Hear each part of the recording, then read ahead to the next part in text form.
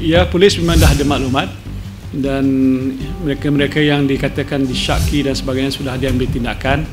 Tapi laporan terkini makin bertambah bilangan yang sudah ditahan, diriman dan sebagainya. Jadi bermakna dan ada kerjasama daripada orang ramai untuk membantu umpama kes Muhammad Adib. Ya kita hari itu dah diberitahu ada seorang tampil ke depan ada tahu eh? Dan kita akan pesu perkara itu sampai jelas terbukti siapa yang bersalah